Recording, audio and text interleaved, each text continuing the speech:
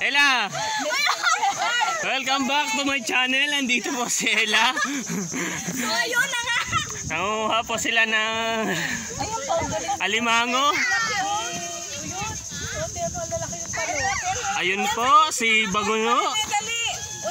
Ayan po si Tuping.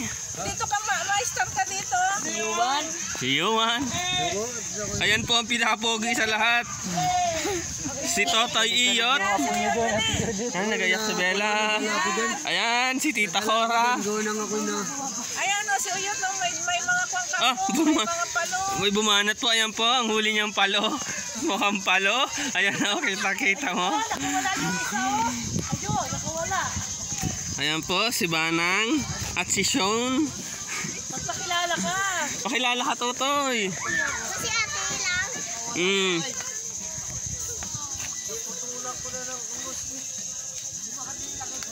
Ba't nilagay mo agad sa show? Ingit siguro na ingit si Uji ko, hindi kami makauwi.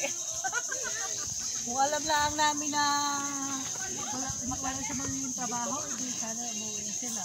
Hindi, nagawad daw eh, sabi ni Ray. Yan. Kung tama na.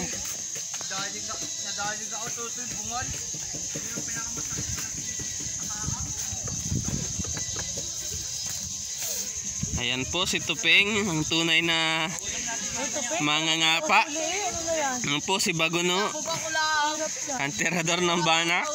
Doon, no, nagtodi.